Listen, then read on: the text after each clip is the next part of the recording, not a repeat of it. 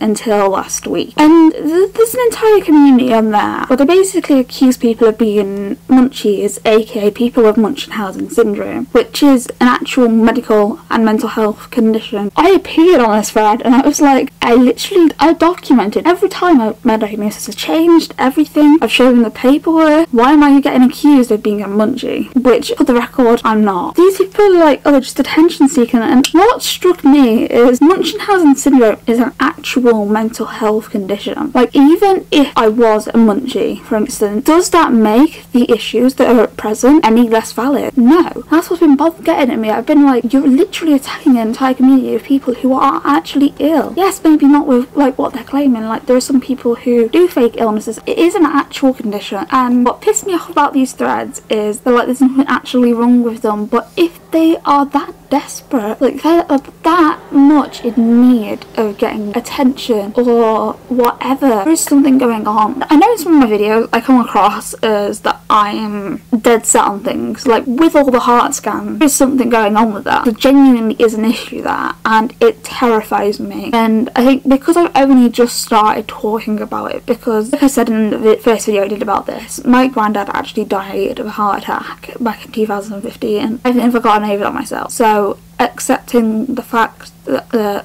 issue of my heart is a big fucking thing for me. Like such a hard thing for me to say because I'm terrified of it. Like I panic a lot about that and I don't I, I haven't talked about that side of my life for a long time. I, I haven't talked about his death on my channel like I, I can't myself to talk about him because I was there and he died. Like I, I watched him have a heart attack. I've seen that. That doesn't leave you. you. That is something you can never unsee. When I see people that are like, oh my god, she's just a munchie, it gets to me because I'm not faking anything. Everything in my life that I've put out there has happened. This is turned to a rant. People keep bringing up the police incident in Lancashire. So I've been skating for two hours my back has just completely given out. My blade nearly just flew off my shoe. Um, I think I'm done for the day. Yeah, like, ice skating. It's a thing I do.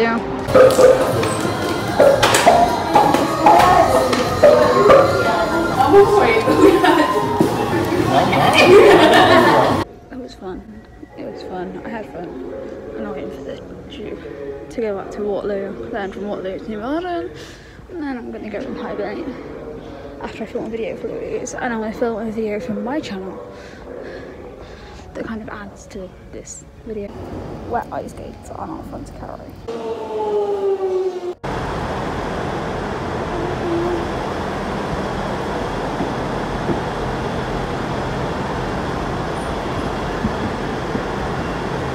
Oh, I feel so.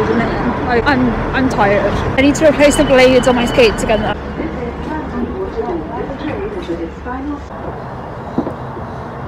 Array I booked it for, I booked it for 20 past 4 and it's nearly 10 to 4 now, so I guessed right, I was booking it while I was skating, it was fucking hilarious, but I'll explain that when I get in. People keep bringing up the police incident in Lancashire, and I actually did take the video down, but I couldn't deal with the stress that it was causing me knowing that it was up. The reason it is not reported on, this is why I haven't made a follow-up video on it, uh, there is a legal suppression order in place. A, a suppression order means you cannot publicly talk about the case, and because of what it is, no, it can't be talked about. And was I wrong for posting that video? Hell yes, I was. I should have waited until the case was over. Long story short, I, at some point, need to come to an agreement with the prosecution as to when I can appear before a court um, to give a statement, testimony, whatever you want to call it. There are some parts of that whole thing that people have got completely wrong. I want to clear something up. I can't remember what I said in that video, but initially the police played on the fact that there was no CCTV in that cell. There was, hence the footage was accessed by both Fusion and my solicitor. I have seen the footage back of what happened. I was advised against it.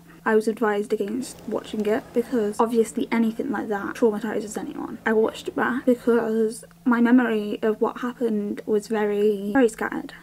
I can't remember if that in the initial video or not. I, I can't remember. It was a long time ago. There was CCTV. They claimed on the fact that there wasn't. And when I started to fight them for it, it came out there was CCTV footage. And there was an ongoing court case. Because some of the people involved, the officers, owned up to it. And you know what I will say to that? Those who actually accept that what they did was wrong are 10 times better than people who are trying to cover their asses with it. That is all I'm comfortable talking about with that incident. I had to bring it up because people are throwing things out there like they can say what they want and it's wrong. I haven't made a second video on that because one, it was a fucking traumatizing event and it has left me terrified. Like, every time, like when the police were here, and well, sat Sunday when I tried to kill myself, and I haven't talked about that on here either. But um, on Sunday I did try and kill myself. I haven't spoken about that publicly properly, but I don't want to.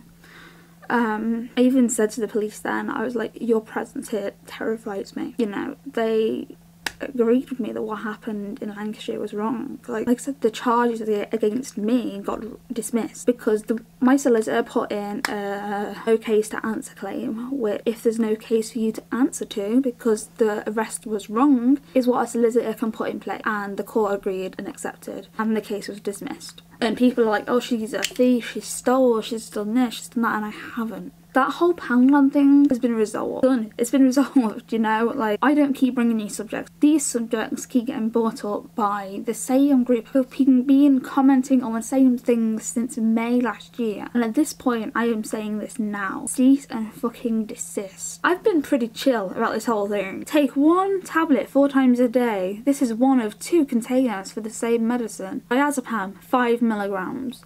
28 tablet. I don't lie about shit like this. And I am sick to death of being told, oh, you shouldn't take benzos, you should take this. And the one that people keep saying that I don't get, this is, this is the backwards part, like, oh, you should try pregabalin. Pregabalin is more addictive than fucking benzodiazepines. Get that into your head before you come after me for something. Especially when you don't know my list of diagnoses. You don't you don't know my life. You are not here all the time. You see what 10, 20 minutes out of a day and you think you have a right to tell me that you know more than my psychiatrist, and you know more than my cardiology team, that you know more than my GP. And then there's the question about, oh, she has arthritis, so why is she ice skating? Because I don't give a fuck. I am 22. I am I might have arthritis and it might cause me a fuck of pain. I have pain medication for that, you know, and I'm not gonna just sit and do fuck all because I'm in pain, you know. I'm gonna have my medication and I'm gonna go out and do what the hell I want to do until I can't. Did did my last physiotherapist advise against me doing animal support? Yeah. Am I going to not do anything for the rest of my life? No. And then people are like, oh, you ha you have shit quality video. If people didn't stress me out so much, they'd be a hell of a lot better. But when it comes to sound, I have two microphones for the record. I have one I usually connect to my laptop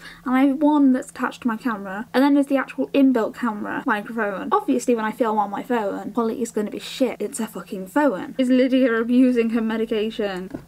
No. People see this big misconception that people with BPD should not be allowed medication. But what you have to realise is BPD co-occurs with other mental health conditions. They are what I take the medication for. I don't take medication for BPD. There is no medication for BPD. As some of you guys remember, I posted a video last year where I collapsed. My room is a literal rectangle. My camera was in front of me. When I got up, where do you want me to look other than straight ahead? Close my eyes or, or look, to the, look to the right, left even. I'm dyslexic. That's fun. That's embarrassing. Look to the right, turns to the left.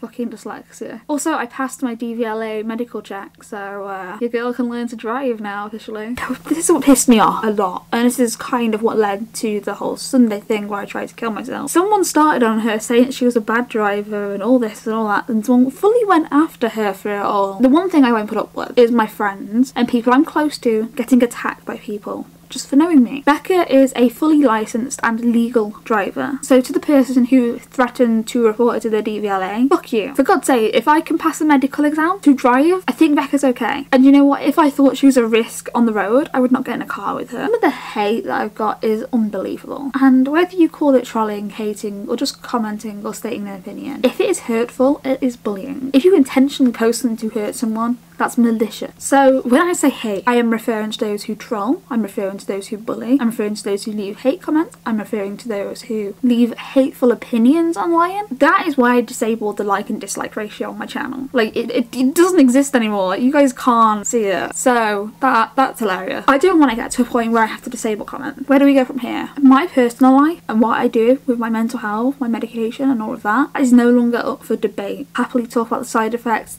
how my experiences and all of that. You telling me whether or not I should take certain medications, for instance, I, I can't get over it. People are like, "I'll take pregabalin instead." I'm just like, pregabalin is literally more addictive than benzos. What what the fuck are you talking about? Like, if you Google pregabalin, literally comes up with these pregabalin is the new Valium, and it's like it's more addictive. And I flat out refuse to go on it, and I will continue to refuse to go on it because it's not because it's not a benzo. I don't like being on benzos. Literally, ask my friends. I I hate being on them, but they help, and there is a clear difference when I've had them and when I when I've had them. I am a lot calmer. I'm more chill, and I can get things done. When I haven't, my thoughts are chaotic and makes me very stressed. And when I get stressed, I get suicidal, and that's all want to avoid. I don't talk about all the reasons why I'm on my medication because that is none of your business. And like I said, at this point, from on this video on my my life, what treatment I have, what medication I take, is no longer up for discussion. You no longer have a right to comment on whether what I'm doing is right or wrong. My treatment team and myself know what is best for me